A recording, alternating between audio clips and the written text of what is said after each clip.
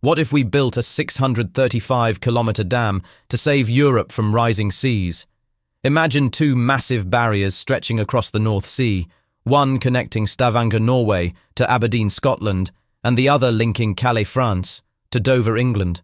Together, they would seal off the North Sea from the Atlantic Ocean, shielding millions from rising sea levels. This concept, known as the Northern European Enclosure Dam, is as ambitious as it is colossal. Scientists warn that sea levels could rise by 0.6 to 1.1 metres by 2100, with extreme scenarios suggesting up to 2 metres.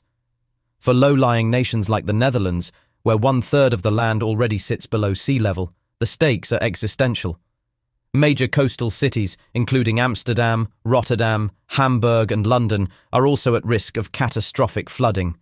This megastructure wouldn't just block the tides, Enclosing the North Sea and Baltic Sea would create vast inland basins, shifting salinity levels, disrupting ocean currents, and transforming marine ecosystems.